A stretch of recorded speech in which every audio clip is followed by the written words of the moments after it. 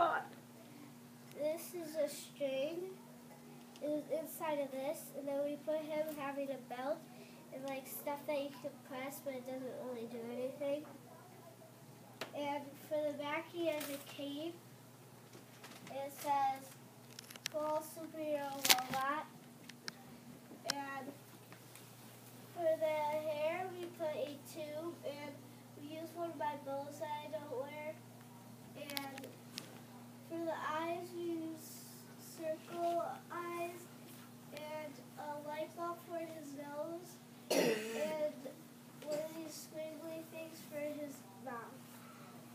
And for his legs, we spray painted them black and the box it and there's boxes made for his legs and boxes made for his feet and his feet we spray painted him um, Do you have a name for your robot?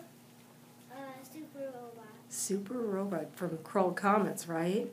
Now, is there anything you'd like to do with your robot? I like to read books with it. Nice. Let's give Ella a round of applause.